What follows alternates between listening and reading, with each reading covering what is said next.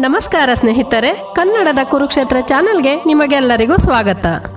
ಮಹಾಭಾರತದ ಇತಿಹಾಸದಲ್ಲಿಯೇ ಕುರುಕ್ಷೇತ್ರ ಯುದ್ಧವು ಅತ್ಯಂತ ಪ್ರಮುಖವಾದ ಘಟ್ಟ ಎಂದು ಹೇಳಬಹುದು. ಈ ಕುರುಕ್ಷೇತ್ರ ಯುದ್ಧವು ಹದಿನೆಂಟು ದಿನಗಳ ಕಾಲ ನಡೆಯಿತು. ಎಷ್ಟೋ ಜನ ವೀರರು ತುಂಬಾ ವಿರೋಚಿತವಾಗಿ ಹೋರಾಡಿ ವೀರ ಮರಣವನ್ನೂ ಹೊಂದಿದರು. ಪಾಂಡವರು ಹಾಗೂ ಕೌರವರ ಮಧ್ಯೆ ನಡೆದ ಈ ಯುದ್ಧದಲ್ಲಿ ಬಹಳ ಮಂದಿ ತಮ್ಮ ಪ್ರಾಣವನ್ನು ಕಳೆದುಕೊಂಡರು. ಲಕ್ಷಾಂತರ ಸೈನಿಕರು ಸಹ ಮರಣ ಹೊಂದಿದರು. ಕೊನೆಯದಾಗಿ ಕೌರವರ ಮೇಲೆ ಪಾಂಡವರು ವಿಜಯವನ್ನು ಸಾಧಿಸಿದರು. ಕುರುಕ್ಷೇತ್ರ ಯುದ್ಧದ ಕೊನೆಯ ದಿನ ಭೀಮನು ದುರ್ಯೋಧನನನ್ನು ಗದಾಯುದ್ಧದಲ್ಲಿ ಸೋಲಿಸಿ ಆತನನ್ನು ಕೊಂದಾಗ ಕುರುಕ್ಷೇತ್ರ ಯುದ್ಧವು ಮುಕ್ತಾಯವಾಗುತ್ತದೆ. ಆದರೆ ಕುರುಕ್ಷೇತ್ರ ಯುದ್ಧ ಮುಗಿದ ನಂತರವೇ ಮಹಾಭಾರತವು ಮುಗಿಯುವುದಿಲ್ಲ. ಆ ನಂತರವೂ ಸಹ ಪಾಂಡವರು ಸುಮಾರು ವರ್ಷಗಳ ಕಾಲ ಆಳ್ವಿಕೆ ಮಾಡುತ್ತಾರೆ. ಗಾಂಧಾರಿಯು ತನ್ನ ಮಕ್ಕಳೆಲ್ಲರನ್ನೂ ಕಳೆದುಕೊಂಡ ಮೇಲೆ ತುಂಬಾ ದುಃಖದಿಂದಲೇ ಧೃತರಾಷ್ಟ್ರನನ್ನು ಕರೆದುಕೊಂಡು ಯುದ್ಧ ಭೂಮಿಗೆ ಬರುತ್ತಾಳೆ. ಹಾಗೆಯೇ ಕೌರವರೆಲ್ಲರೂ ಮರಣ ಹೊಂದಿದ್ದರಿಂದ ಅವರ ಪತ್ನಿಯರು ಸಹ ಅಲ್ಲಿಗೆ ಬರುತ್ತಾರೆ. ಕುರುಕ್ಷೇತ್ರದ ಯುದ್ಧ ಭೂಮಿಯೆಲ್ಲವೂ ಅವರ ಅಳುವಿನ ಆಕ್ರಂದನದಿಂದ ಮುಳುಗಿರುತ್ತದೆ. ಕುರುಕ್ಷೇತ್ರ ಯುದ್ಧವು ಮುಗಿದ ಬಳಿಕ ಕೇವಲ ಕೆಲವು ಮಂದಿ ಮಾತ್ರ ಪ್ರಾಣವನ್ನು ಉಳಿಸಿಕೊಂಡಿರುತ್ತಾರೆ. ಕುರುಕ್ಷೇತ್ರ ಯುದ್ಧ ಮುಕ್ತಾಯದ ನಂತರ ಯಾರ್ಯಾರು ಬದುಕುಳಿದರು? ಈ ಮಹಾಯುದ್ಧದ ನಂತರ ಕೌರವರ ಹೆಂಡತಿಯರು ಯಾರ ಬಳಿ ಇದ್ದರು? ಕೌರವರ ಹೆಂಡತಿಯರೆಲ್ಲ ಆ ನಂತರದಲ್ಲಿ ಏನಾದರೂ? ಉಳಿದ ಘಟನೆಗಳಾದರೂ ಏನು ಎಂಬುದನ್ನು ಈ ವಿಡಿಯೋದಲ್ಲಿ ತಿಳಿಯೋಣ. ವಿಡಿಯೋವನ್ನು ಕೊನೆವರೆಗೂ ಸ್ಕಿಪ್ ಮಾಡದೆ ನೋಡಿ. ಹಾಗೂ ಲೈಕ್ ಮಾಡಿ, ಶೇರ್ ಮಾಡಿ, ಸಬ್ಸ್ಕ್ರೈಬ್ ಮಾಡುವುದರ ಮೂಲಕ ನಮಗೆ ಸಪೋರ್ಟ್ ಮಾಡಿ.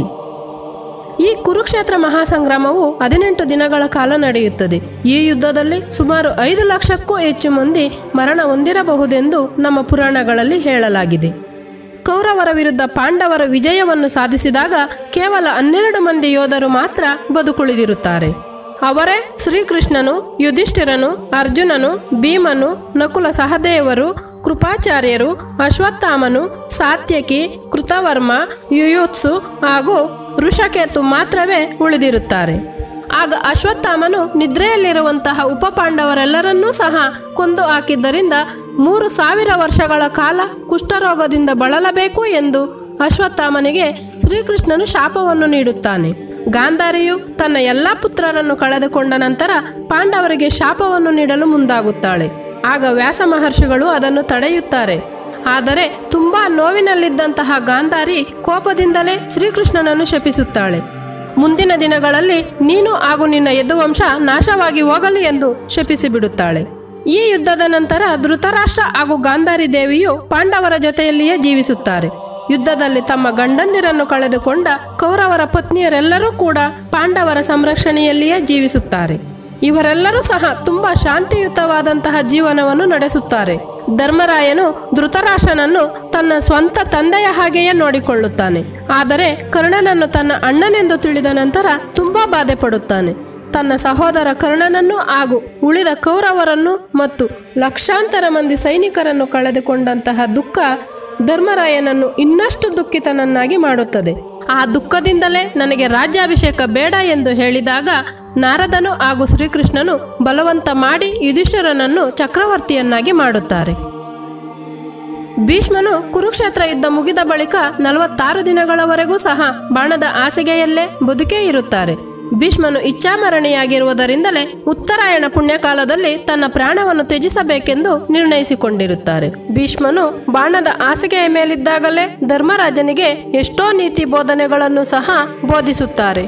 ಆನಂತರ ಭೀಷ್ಮನು ನಲವತ್ತಾರು ದಿನಗಳು ಕಳೆದು ನಲವತ್ತೇಳನೆಯ ದಿನ ಉತ್ತರಾಯಣ ಪುಣ್ಯಕಾಲದಲ್ಲಿಯೇ ತನ್ನ ಪ್ರಾಣವನ್ನು ತ್ಯಜಿಸುತ್ತಾರೆ.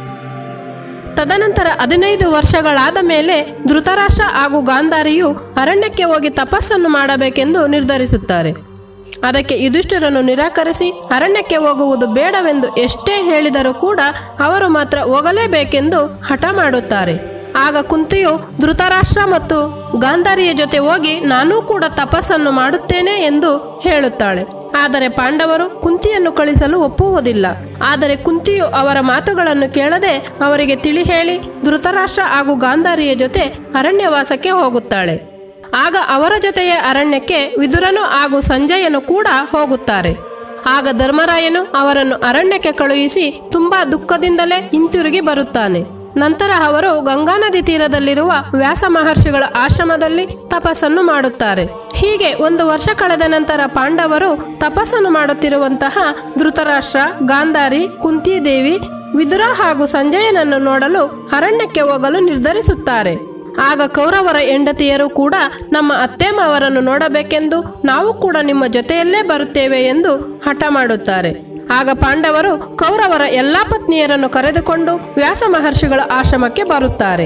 ಅಲ್ಲಿ ಎಲ್ಲರೂ ಒಟ್ಟಿಗೆ ಒಬ್ಬರನ್ನೊಬ್ಬರು ನೋಡಿಕೊಂಡು ತುಂಬಾ ಸಂತೋಷದಿಂದ ಕಾಲವನ್ನು ಕಳೆಯುತ್ತಾರೆ. ಆದರೆ ಕೌರವರ ಹೆಂಡತಿಯರು ಮಾತ್ರ ಕುರುಕ್ಷೇತ್ರ ಯುದ್ಧದಲ್ಲಿ ಕಳೆದುಕೊಂಡಂತಹ ತಮ್ಮ ಪತಿಯರನ್ನು ನೆನೆಸಿಕೊಂಡು ತುಂಬಾ ದುಃಖಿಸುತ್ತಾರೆ. ಅದೇ ಸಮಯಕ್ಕೆ ವ್ಯಾಸ ಮಹರ್ಷಿಗಳು ಅಲ್ಲಿಗೆ ಬಂದು ಇದನ್ನೆಲ್ಲ ನೋಡುತ್ತಾರೆ. ಆಗ ಧೃತರಾಷ್ಟ್ರನು ವ್ಯಾಸ ಮಹರ್ಷಿಗಳನ್ನು ಕುರಿತು ಮರಣ ಹೊಂದಿರುವ ನಮ್ಮ ಪುತ್ರರನ್ನು ನಿಮ್ಮ ದಿವ್ಯ ದೃಷ್ಟಿಯಿಂದ ಒಂದು ಬಾರಿ ತೋರಿಸಿ ಎಂದು ಕೇಳುತ್ತಾನೆ. ಈ ಒಂದು ರಾತ್ರಿ ನಾನು ಅವರನ್ನು ಕರೆಸುತ್ತೇನೆ, ಮತ್ತೆ ಸೂರ್ಯ ಹುಟ್ಟುವ ಮೊದಲೇ ಅವರು ಹೊರಟು ಹೋಗುತ್ತಾರೆ ಎಂದು ಹೇಳುತ್ತಾರೆ. ಆಗ ಪಾಂಡವರು ಕೂಡ ಕುರುಕ್ಷೇತ್ರ ಯುದ್ಧದಲ್ಲಿ ಮರಣ ಹೊಂದಿರುವ ನಮ್ಮ ಸಂಬಂಧಿಕರನ್ನು ಸಹ ಕರೆಸಿ ಎಂದು ಕೇಳಿಕೊಳ್ಳುತ್ತಾರೆ. ಆಗ ವ್ಯಾಸ ಮಹರ್ಷಿಗಳು ತಪೋಶಕ್ತಿಯಿಂದ ಎಲ್ಲರನ್ನೂ ಕರೆಸುತ್ತಾರೆ. ಕೌರವರ ಹೆಂಡತಿಯರು ಅವರವರ ಗಂಡಂದಿರನ್ನು ನೋಡಿ ತುಂಬಾ ಸಂತೋಷಪಟ್ಟು ರಾತ್ರಿ ಇಡೀ ತಮ್ಮ ಪತಿಯರೊಂದಿಗೆ ಅತಿ ಸಂತೋಷದಿಂದ ಕಾಲವನ್ನು ಕಳೆಯುತ್ತಾರೆ.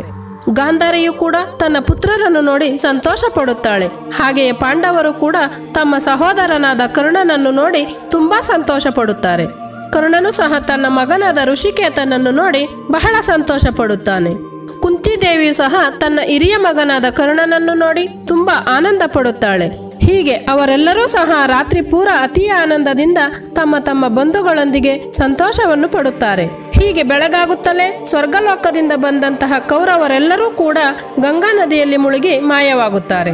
ಆಗ ಕೌರವರ ಹೆಂಡತಿಯರೆಲ್ಲರೂ ವ್ಯಾಸ ಮಹರ್ಷಿಗಳ ಬಳಿ ಬಂದು ನಮ್ಮ ಪತಿಯರ ಬಳಿ ನಾವು ಹೋಗುವುದಕ್ಕೆ ಮಾರ್ಗವನ್ನು ಸೂಚಿಸಿ ಎಂದು ಕೇಳಿಕೊಳ್ಳುತ್ತಾರೆ. ಆನಂತರ ವ್ಯಾಸ ಮಹರ್ಷಿಗಳ ಅನುಮತಿಯಿಂದ ಅವರೆಲ್ಲರೂ ಸಹ ಗಂಗಾ ನದಿಯಲ್ಲಿ ಮುಳುಗಿ ತಮ್ಮ ದೇಹ ತ್ಯಾಗವನ್ನು ಮಾಡಿ ಸ್ವರ್ಗದಲ್ಲಿರುವ ತಮ್ಮ ಪತಿಯರನ್ನು ಸೇರಿಕೊಳ್ಳುತ್ತಾರೆ. ಸ್ವಲ್ಪ ದಿನಗಳ ಬಳಿಕ ವಿದುರನು ಸಹ ತನ್ನ ತಪಸ್ಸಿನ ಮೂಲಕ ತನ್ನ ಶರೀರವನ್ನು ತ್ಯಜಿಸಿ ಸ್ವರ್ಗದ ಕಡೆ ಪ್ರಯಾಣವನ್ನು ಬೆಳೆಸುತ್ತಾನೆ. ಆನಂತರ ಸ್ವಲ್ಪ ದಿನಗಳು ಕಳೆದ ಮೇಲೆ ಅರಣ್ಯಕ್ಕೆ ಬೆಂಕಿ ಬಿದ್ದು ಧೃತರಾಷ್ಟ್ರ, ಗಾಂಧಾರಿ ಹಾಗೂ ಕುಂತಿಯು ಕೂಡ ಆ ಬೆಂಕಿಗೆ ಆಹುತಿಯಾಗುತ್ತಾರೆ. ಅವರಲ್ಲಿ ಸಂಜಯನು ಮಾತ್ರ ಉಳಿಯುತ್ತಾನೆ. ಈ ವಿಷಯವನ್ನೆಲ್ಲ ತಿಳಿದಂತಹ ಯುಧಿಷ್ಠಿರನು ತುಂಬಾ ದುಃಖ ಪಡುತ್ತಾನೆ ಆನಂತರ ಕಾಲಾನುಘಟ್ಟದಲ್ಲಿ ಗಾಂಧಾರಿಯ ಶಾಪದಿಂದ ಇಡೀ ಯದುವಂಶವೆಲ್ಲ ನಾಶವಾಗಿ ಹೋಗುತ್ತದೆ. ಆನಂತರ ಶ್ರೀಕೃಷ್ಣ ಮತ್ತು ಬಲರಾಮರು ಕೂಡ ತಮ್ಮ ತಮ್ಮ ದೇಹವನ್ನು ತ್ಯಾಗ ಮಾಡುತ್ತಾರೆ. ಯುಧಿಷ್ಠಿರನಿಗೆ ಇದೆಲ್ಲ ನಡೆದ ನಂತರ ಅನೇಕ ಅಪಶಕುನಗಳು ನಡೆಯುತ್ತವೆ. ಆಗ ಧರ್ಮರಾಯನು ವ್ಯಾಸ ಮಹರ್ಷಿಗಳನ್ನು ಕರೆಸಿ, ಅದಕ್ಕೆ ಪರಿಹಾರ ಮಾರ್ಗವನ್ನು ಸೂಚಿಸಿ ಎಂದು ಕೇಳಿಕೊಳ್ಳುತ್ತಾನೆ. ಆಗ ವ್ಯಾಸ ಮಹರ್ಷಿಗಳ ಸೂಚನೆಯಂತೆ ಪಾಂಡವರು ಹಾಗೂ ದ್ರೌಪದಿಯು ಹಿಮಾಲಯಕ್ಕೆ ಮಹಾಪ್ರಯಾಣವನ್ನು ಬೆಳೆಸುತ್ತಾರೆ. ಆಗ ಅಭಿಮನ್ಯುವಿನ ಮಗನಾದ ಪರೀಕ್ಷಿತನನ್ನು ಯುವರಾಜನನ್ನಾಗಿ ನೇಮಕ ಮಾಡಿ, ಸುಭದ್ರಳನ್ನು ಅವನ ಸಂರಕ್ಷಕಿಯಾಗಿ ನೇಮಿಸಿ, ರಾಜ್ಯವನ್ನು ಅವರಿಗೆ ಒಪ್ಪಿಸಿ ಮಹಾಪ್ರಯಾಣಕ್ಕೆ ಹೊರಡುತ್ತಾರೆ. ಹಾಗೆ ಹೋಗುವಾಗ ಒಬ್ಬೊಬ್ಬರೇ ಸಹ ತಮ್ಮ ಪ್ರಾಣವನ್ನು ಕಳೆದುಕೊಳ್ಳುತ್ತಾರೆ. ಮಹಾಭಾರತದ ಇತಿಹಾಸ ಗ್ರಂಥಗಳ ಪ್ರಕಾರ ಕೌರವರ ಪತ್ನಿಯರು ಅವರ ಗಂಡಂದಿರ ಬಳಿ ಸೇರಿಕೊಳ್ಳುತ್ತಾರೆ. ಈ ವಿಡಿಯೋ ನಿಮಗೆ ಇಷ್ಟವಾದರೆ ದಯವಿಟ್ಟು ಲೈಕ್ ಮಾಡಿ, ಶೇರ್ ಮಾಡಿ ಹಾಗೂ ಸಬ್ಸ್ಕ್ರೈಬ್ ಕೂಡ ಮಾಡಿಕೊಳ್ಳಿ. ಧನ್ಯವಾದಗಳು.